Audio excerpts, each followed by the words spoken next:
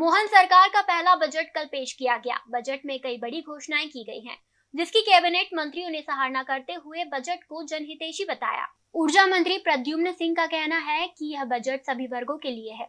इस बजट को विपक्ष को सुनना था और अगर इसमें कोई कमी थी तो वो बतानी थी लेकिन कांग्रेस नकारात्मकता फैलाकर सुर्खियों में रहना चाहती है।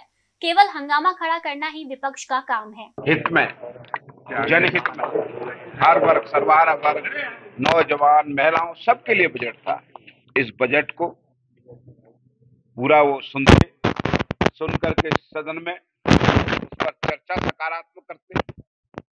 कांग्रेस सिर्फ़ नकारात्मक माहौल पैदा करके सदन में सुर्खियों में रहना चाहती है, जबकि उसे जनहित में सकारात्मक सोच के साथ जनता के हितों में चर्चा करते, बजट में कोई कमी थी तो सुझाव देते। मध्य प्रदेश में मोहन सरकार अब कृष्ण पद गमन बनाने की तैयारी कर रही है। सरकार ने प्रस्ताव जारी किया है, जिसमें श्री कृष्ण मध्य प्रदेश में जहाँ जहाँ गए थे, वहाँ श्री कृष्ण पद गमन बनाया जाएगा। इसको लेकर संस्कृति पर्यटन और संस्कृति विभाग के मंत्री धर्मेंद्र लोधी ने कहा कि जहाँ जहाँ भगवान श्री कृष्ण की लीलाएँ हुई है, उन स्थानों को विकसित किया जाएगा। वहीं उज्जैन सिंहस्थ को लेकर कहा कि सरकार ने कुंभ मेले के लिए 500 करोड़ की राशि बजट में स्वीकृत की है। कृष्ण पाथे पथ का भी वो किया गया है तो उसमें भी जहाँ जहाँ भगवान कृष्ण की लीलाएँ हुई हैं, उन स्थानों को विकसित और पल्लवित करने का हमारे यशस्वी मुख्यमंत्री डॉक्टर मोहन यादव जी का मंतव्य है, जो निश्चित रूप से पूरा होगा।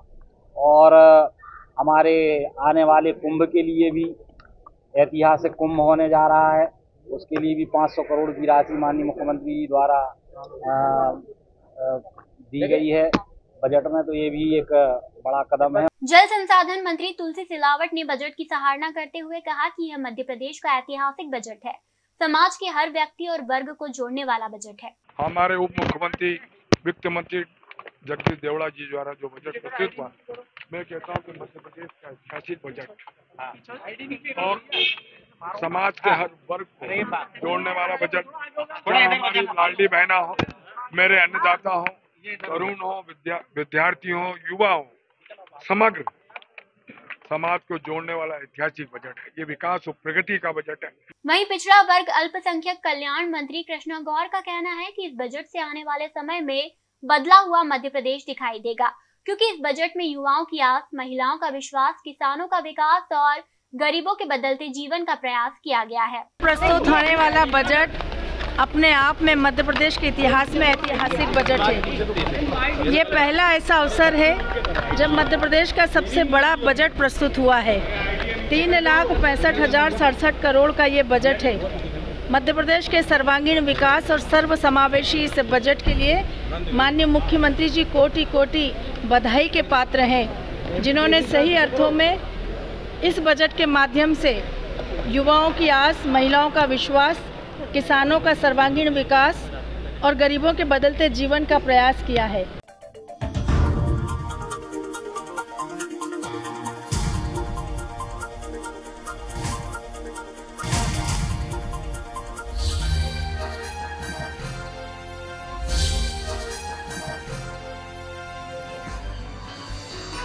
आप देख रहे हैं दखल न्यूज़।